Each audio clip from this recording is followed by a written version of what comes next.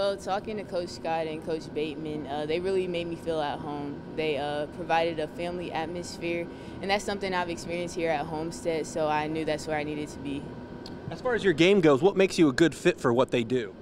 Well, I was talking to Coach Scott, and he said that if I work hard, I could be a, an immediate impact. So, whatever he needs me to do, I'll do it for him.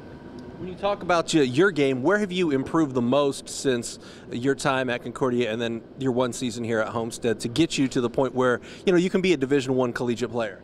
Well, I've been always good at scoring and stuff like that, but pay, paying attention to the little details uh, with Coach Parker, uh, harping on defense and stuff like that, has helped out a lot on the defensive end. Um, we've seen that uh, a number of MAC schools had offered you. So, um, what was the process like, and is it kind of a a little bit of a relief knowing that you go into your senior season and you don't have to worry about where you're going to be playing on the next level? Yes, it is. Um, it was a great process, but it was a little stressful at times. But I'm glad I made the decision.